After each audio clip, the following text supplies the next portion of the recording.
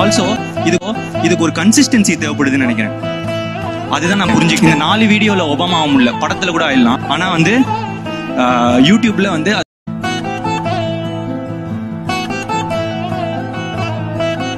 நல்லவங்களை ஆண்டவன் சோதிப்பான்.